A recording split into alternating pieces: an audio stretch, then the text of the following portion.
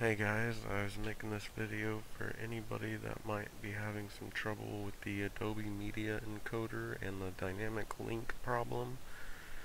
Uh, the first thing you need to do is to check the log and make sure that is indeed what your problem is and you can do that by going to this right here and just change Jamie to your account username and then you can open up this log file right here and for me it does indeed look like it was a dynamic link problem.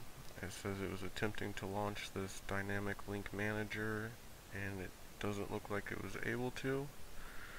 So what I did was I said hey why don't I just go start this program myself? And I copied this link right here to where the program is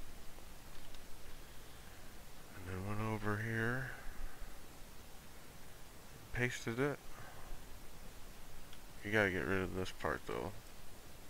Leave it with the 32, press enter, and bam, there's the program. And just to make sure I wouldn't have any problems, I did run as administrator and said yes.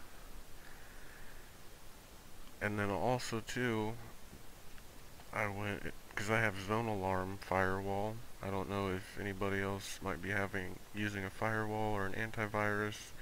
Uh, to see if that's the problem, just go ahead and put it on snooze or close it for a minute and see if it works. If not, then you're going to have to go in there and go to allow the program internet access and fair warning to those that might have a pirated copy as long as you have blocked the Adobe addresses in your hosts file, you will be just fine by allowing the program internet access through your firewall.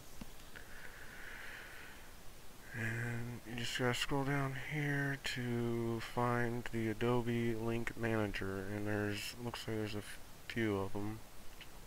And right now I have them blocked, and all you gotta do is allow that for all of them, then hit OK and then now you can start encoding videos by uh, importing them or exporting them from After Effects and Premiere Pro.